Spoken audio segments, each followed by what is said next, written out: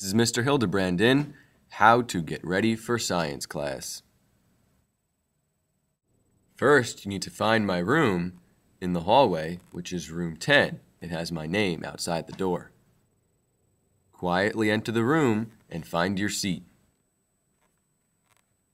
There it is. Sit down, take out your science notebook, and read the Do Now.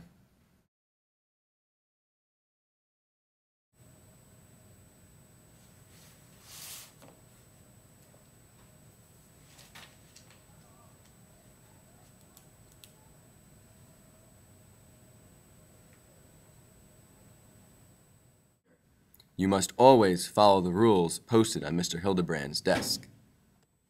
You must follow all safety rules for the lab. Always respect your peers, teacher, and somebody else's property. Always follow directions the first time they are given.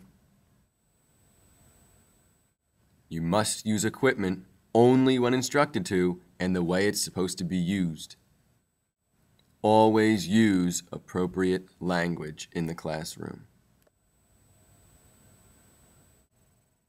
Now you know how to get ready for science class. Thanks for watching.